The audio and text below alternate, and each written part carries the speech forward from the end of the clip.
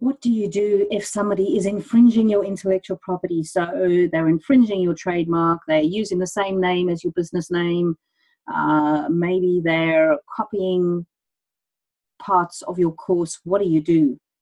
The first thing to do is to make sure that you actually do have the intellectual property rights. So check to see you've got your trademark registered. Uh, having a business name is not the same thing as having a trademark registered. If you only have a business name and don't have a trademark, then you might be in a bit of trouble. Um, if you're claiming that they're infringing your copyright in, say, a course you've developed, check to make sure that you own the copyright in that course. How do you do that? Well, when you created the course, was it original content that you used, or did you get that content from somewhere else? Did you use images you found on the internet and don't actually have a license for? Because if you don't own the intellectual property, then there's not much you can do. If you discover you maybe don't own the intellectual property, that's something that you can brainstorm with me, book in for a um, the legal hotline uh, phone chat with me. It's not very expensive, but we can explore that point.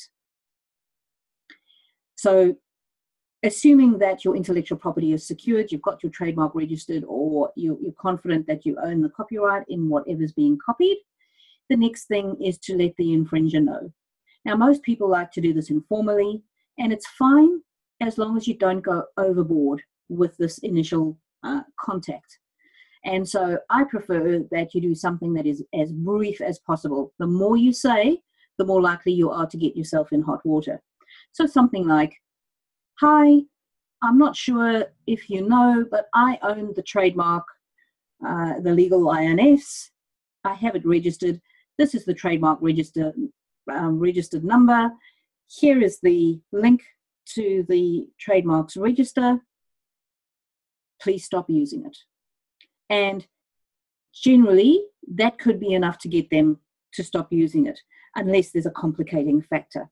And so this happened to me actually when um, with Acacia Law, another lawyer started using the name Acacia uh, my the the law firm name that I have registered is Acacia, not Acacia Law. It was just Acacia, and this lady was using Acacia Family Lawyers. I wrote to her, and just like I've described, and she came back with a very rude reply saying the Law Society said I could use this name. I went back to her and I explained to her that Law Society doesn't govern uh, the use of trademarks, and I recommended that she take advice from an IP lawyer. She then wrote back to me and said, Oh, I've decided to change my name because it's too much trouble, which actually meant that she now had realized she couldn't use my registered trademark. Now, have I got a client called Coach Curl, Tony Curl. He's agreed that I can share this story with you. He had a trademark registered, or he has a trademark registered, Coach Curl. Somebody started using it. He sent the email that I've just described and she came back really rudely and said, um, You're a coach, you should be supporting young people in business, and I've just started my business. It, it was just a real, a very strange, weird rant.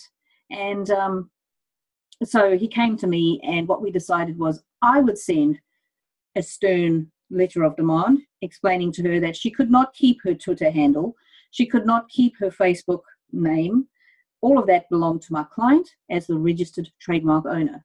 And I sent that to her, recommended she got an IP lawyer. Her IP lawyer emailed me back, and immediately she changed her Twitter, changed her Facebook, took her website down, took all references to Coach Curl off social media. And so sometimes if you send an initial response yourself as the intellectual property owner, you will get a good result, and many of my clients have. Occasionally, you will get that result like we got with Coach Curl, where they pushed back a little bit. And in that situation, it is best to get a letter from um, your lawyer who is an IP expert because that just um, tells them exactly what your rights are, and usually that can be the end of the matter. Copyright can drag on a little bit more, because it's not as well defined as trademarks.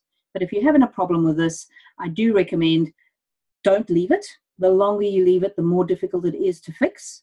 Uh, if you send an initial um, message and you don't get the result that you want, seek advice from an expert in that particular field uh, so that you don't have problems later down the track. And less is more. Don't say too much because if you do say too much, you might actually end up um, inadvertently saying something that can be used against you later. Remember, silence is golden. Uh, and as the Americans say, you have the right to remain silent. Anything you say can and will be used against you. Yes, um, it's best just to be talk about the bare facts and don't say too much because you never know what can be used against you. Good luck with it.